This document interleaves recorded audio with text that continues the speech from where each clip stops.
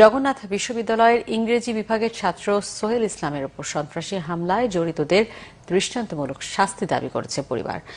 কোটা আন্দোলনে জড়িত থাকার দায়ে সোহেলের উপর এমন নির্যাতনে হতবাক তারা। এদিকে দায়ীদের গ্রেফতার না করা হলে আরও কঠোর আন্দোলনের হুঁশিয়ারি কোটা সংস্কার আন্দোলন নেতাদের। জগন্নাথ বিশ্ববিদ্যালয়ের ইংরেজি বিভাগের ছাত্র সোহেল ইসলাম। বাবা মারা যাবার পর সংসারের হাল ধরেন তার মা। অন্যের ক্ষেতে কাজ করে কোনো মতে চলে তাদের সংসার।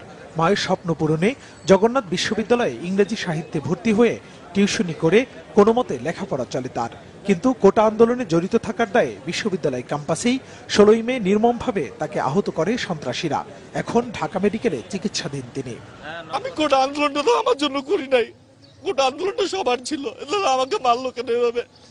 আমি খুব দেখছি আমার মা আছে, আমার ভাই অন্য জমিতে কাজ করে। আমরা খুব কষ্ট করে এতদিন আসছি। আমার পরিবারে আমার মতো কেউ নাই যে বিশ্ববিদ্যালয়ে পড়ে। আমার বাবা নাই, বাবা মরে গেছে, তারপর আমাকে মারলো কেন? আমি এটার বিচার চাই। হতদরিদ্র মা এই হামলায় জড়িতদের দৃষ্টান্তমূলক শাস্তির দাবি জানান।